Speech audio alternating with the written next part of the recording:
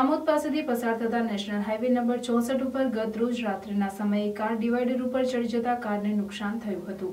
તેમજ કારની અંદર બેઠેલી બે મહિલાઓ ઇજાગ્રસ્ત થતા સારવાર માટે સામૂહિક આરોગ્ય કેન્દ્ર આમોદ ખાતે ખસેડવામાં આવી હતી. ત્યારબાદ વધુ સારવાર માટે વડોદરા ખાનગી હોસ્પિટલમાં લઈ જવામાં આવી હતી. ભરૂચથી આમોદ સંબંધીના ઘરે આવતા અછત ચોકડી પાસે રિફ્લેક્ટર લાઇટના અભાવે કાર ડિવાઈડર ઉપર ચડી ગઈ હતી અને કારની અંદર બેઠેલી બે મહિલાઓ નામે રમીલાબેન સતીશ પટેલ ઉંમર વર્ષ બાસઠને માથાના ભાગે ગંભીર ઈજાઓ પહોંચી હતી. જ્યારે મધુબેન છોટાભાઈ પટેલ ઉંમર વર્ષ સિત્તેરને ગળામાં ભાગે ઈજા થઈ હતી. આ ઉપરાંત કારને હજારો રૂપિયાનું નુકસાન થયું હતું. કાર ચાલકે નેશનલ હાઈવે ઓથોરિટી સામે રોષ વ્યક્ત કર્યો હતો.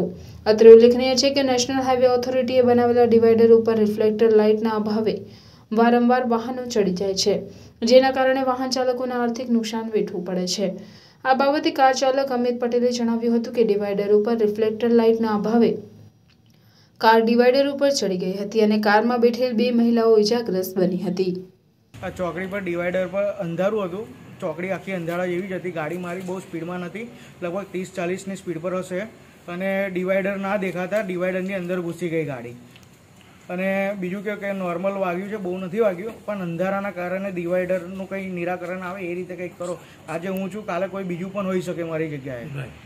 એકચ્યુઅલી પોલ હોવા જોઈએ ડિવાઈડરની આજુબાજુ કાં તો વચ્ચે હોવા જોઈએ પોલ પ્રોબ્લેમ એ છે કે ડિવાઈડર પર લાઇટ જ નથી. બે જણને વાગેલ છે. એકને માથામાં વાગેલ છે બંનેને માથામાં વાગેલ છે ને એકને મણકાનો પ્રોબ્લેમ છે મણકા ચેક કરાવો આગળ હોસ્પિટલમાં જવું પડશે. ના મેં કોઈ ફરિયાદ નહીં કરી અત્યારે પણ હું ક્લેમ માટે નિશાનને વાત કરું છું કે આ જેને જે કંઈ કાર્ય કરતા હોય એને હું એક જ વસ્તુ કહેવા માંગુ છું કે પહેલાં પહેલું તો લાઇટ પ્રોપર કરો. આજે હું છું કાલ જગ્યાએ મારા જેવો પણ કોઈ બીજો હોઈ શકે.